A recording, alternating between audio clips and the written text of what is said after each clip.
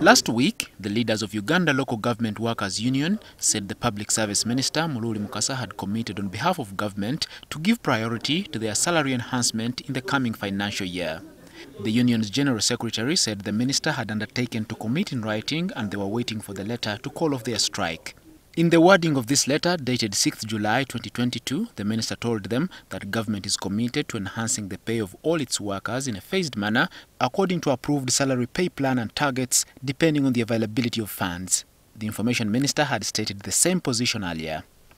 That our appeal that they should be patient because we know that all public servants should have their pay enhanced and the medium term we shall be enhancing for all the civil servants, including those in local governments. So that is my submission and uh, On Thursday, they held a meeting to discuss this letter, which they called a misrepresentation of what was agreed in last week's meeting.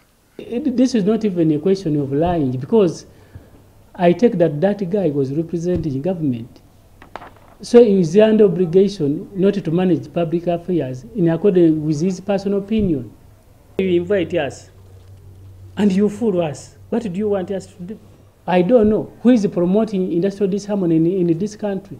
Mudiba said the meeting had resolved that they go on with the industrial action, demanded that the minister withdraws the letter, and that they should take the matter to the International Labour Organization to expose what they described as government's discriminatory salary enhancement as it is contrary to international conventions to which Uganda is party.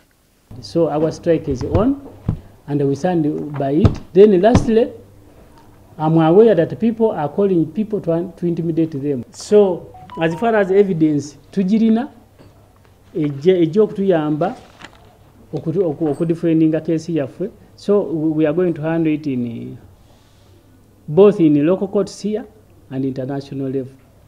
And we are going to do it by next week It's unlikely they would have it easy before the International Labour Organization Tribunal as government would advance what it deems justification for its pay policy, but Mudiba hinted that exposing the government would work for the union.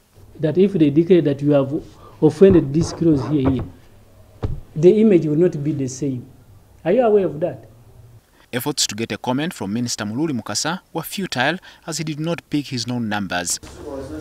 Local government workers are among the lowest paid civil servants, earning between 2.3 million shillings and 187,000 shillings before tax.